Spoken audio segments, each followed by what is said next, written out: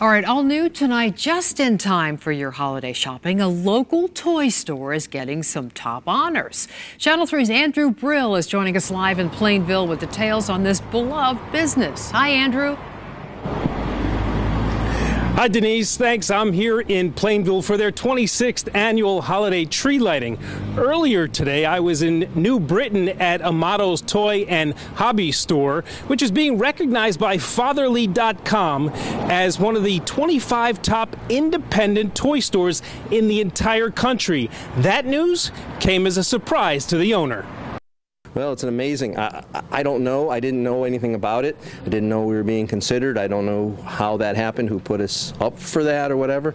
So, it, but it's very nice to hear other people you know, appreciate what we do. Stephen explained Amato's is not your typical toy store. They don't sell electronics, and he tries to carry mostly American-made products. He also said it's rewarding to see generations of customers who keep coming back.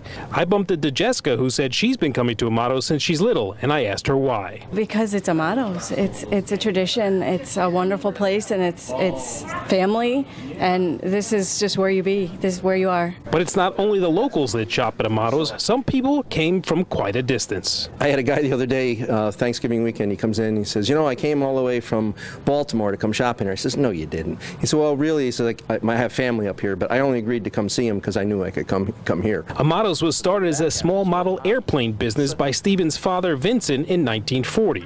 They've been in their present location since 1974. Stephen said his employees are like family, and whether you're a first-time customer in the store or a regular, they treat everyone the same.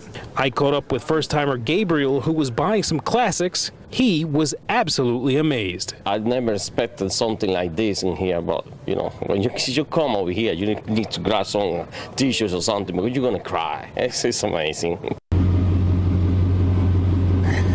Now, Gabriel told me he got very emotional being in the store. It's been a long time since his whole family has been together, and they plan on a surprise for his mother to get the whole family and his mother together. And they're going to play those classic games he bought the same way they played a long time ago. So that was a, a very special thing for him. Now, behind me, the annual tree lighting is about to take place. I can hear the holiday music and Holiday music has become a little bit of a controversy lately.